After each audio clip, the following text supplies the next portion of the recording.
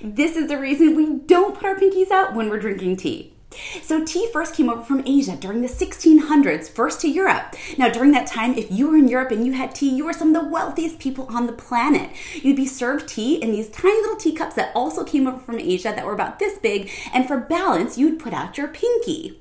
Now, fast forward to now, the trade routes are open, and now people wanted to drink larger quantities of tea. So in 1707, in Germany, to support the larger quantity of liquid, they added the tea handle so that you wouldn't wouldn't burn your hand. So that teacup added the handle so that pinky came in never to come out again.